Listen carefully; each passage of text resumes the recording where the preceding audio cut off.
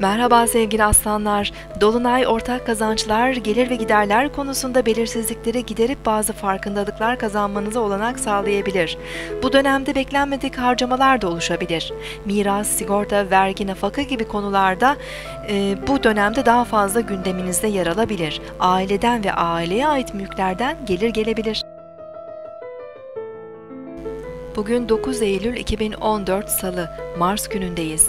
Balık burcunda ilerleyen ay 04.39'da Güneş'le karşıt açı yapacak ve 16 derece Balık burcunda dolunay meydana gelecek.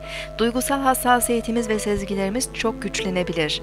Hassas ve kırılgan olabileceğimiz için kendimizi rahatlatacak faaliyetlere zaman ayırmalıyız. Meditasyon, dua, sanat, müzik, yüzme, yardım faaliyetleri enerjimizi dengelememize yardım edebilir.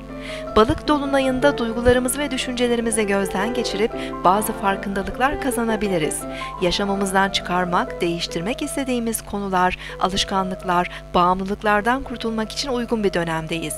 Sağlığımız hassas olabileceği için beslenmemize dikkat etmeli, dinlenmeye zaman ayırmalıyız. Sinirim sistemimiz, ayaklarımız, ruhsal sağlığımıza özen göstermeliyiz.